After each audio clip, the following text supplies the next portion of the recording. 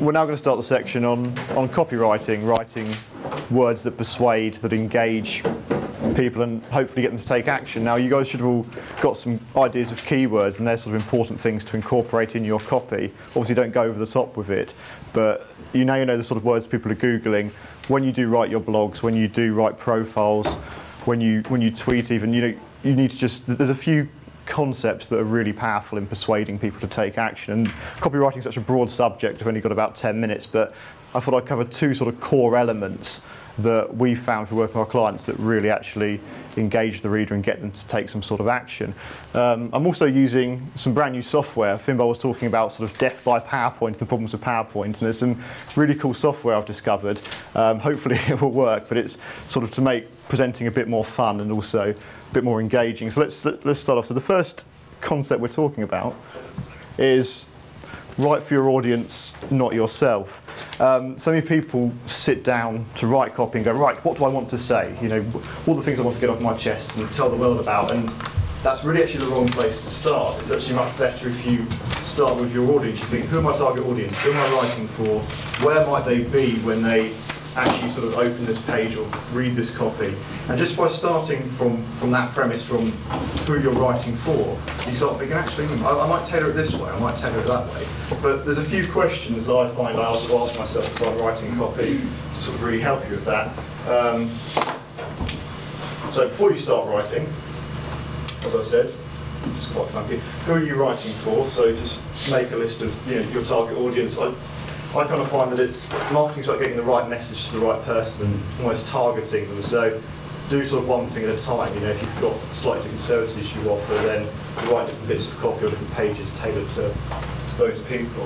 Um, what result do you want from your text? Is it, some people just write a blog or write text or even just have a web page because they think they should rather than they actually have an objective behind it. And I always believe that marketing is about selling the next step. And what's the next step in your selling process? I mean, if you're putting a video up on YouTube that drives traffic to your website, what do you want to do once they've got to your website?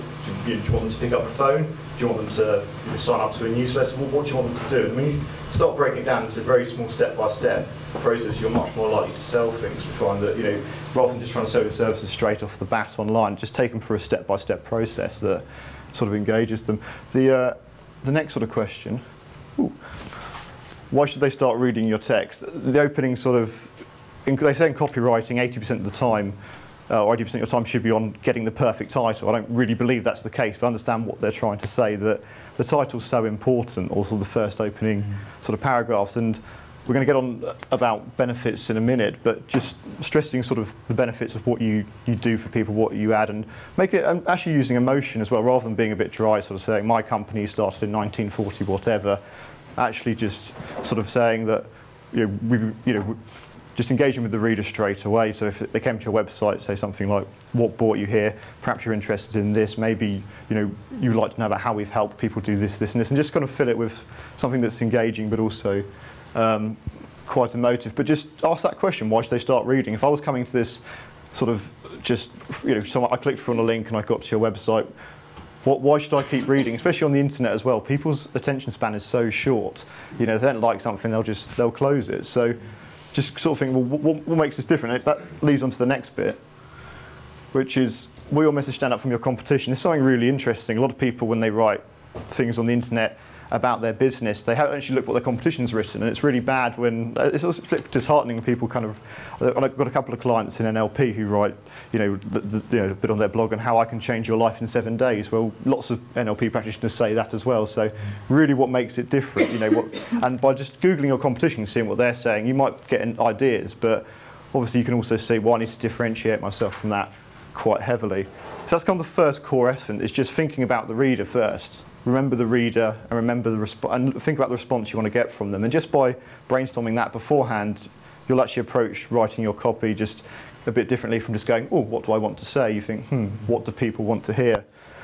The next thing that we found is really quite important actually in selling as well is selling benefits, not features. The distinction is, is if I take an example of my car, my, the feature of my car is it has nine airbags, but the benefit it gives to me is peace of mind. I think if I'm in a crash, hopefully, you know, I've got airbags coming all over the place. I, I, I, I should be okay. I mean, so we take sort of Cindy's business. Cindy's a hypnotherapist, so the features of what she does is she puts people into trance. She speaks to their unconscious. But one of the benefits she probably gives people is freedom.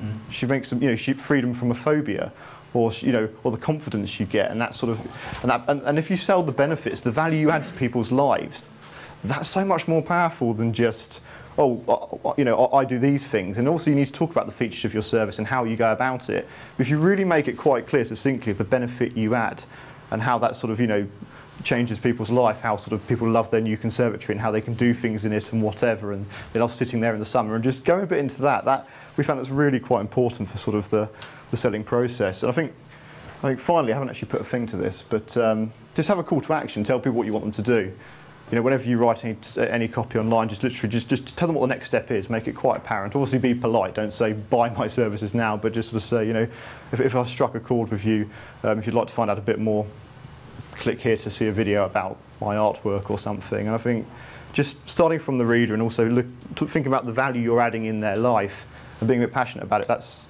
that's a really good way to sell, I think, and it's a bit more genuine as well, rather than you know any sort of manipulative stuff. You're just being yourself, and you're talking about the value you've improved in people's lives. And rather than say that I've done it, just talk about your clients as well. You know, I've helped someone do this, helped someone do that, and it's actually quite a nice thing. And I know we found it's really effective in writing copy that way, um, and also trying to get the keywords in as well where you can within that context. But so you had a question, or was that? Yeah, just um, talk, the, the, testimonial aspect. Yes. Uh, client relations. I mean, if, if, people are actually sort of putting pen to paper and writing back positively, yeah. How can you? Um, I mean, obviously that's quite good to put in, I guess.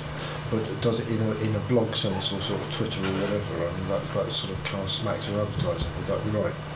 Yeah, I mean, I guess you, you, you certainly wouldn't tweet a, a testimonial, right. but you might tweet a link to somewhere that has a testimonial.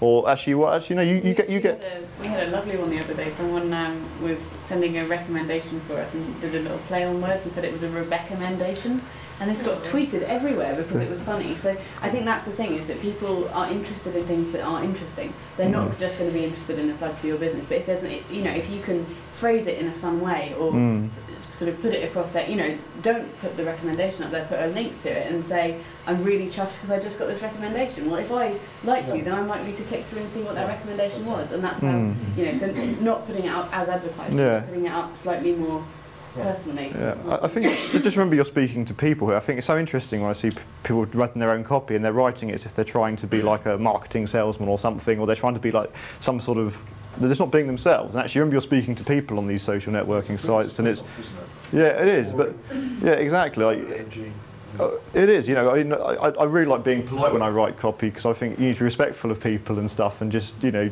focus on the positives positive and just remember you're speaking to a person here rather than you know you're trying to be clever because people can see through that. And these days, you know, it's just I don't think it works. So.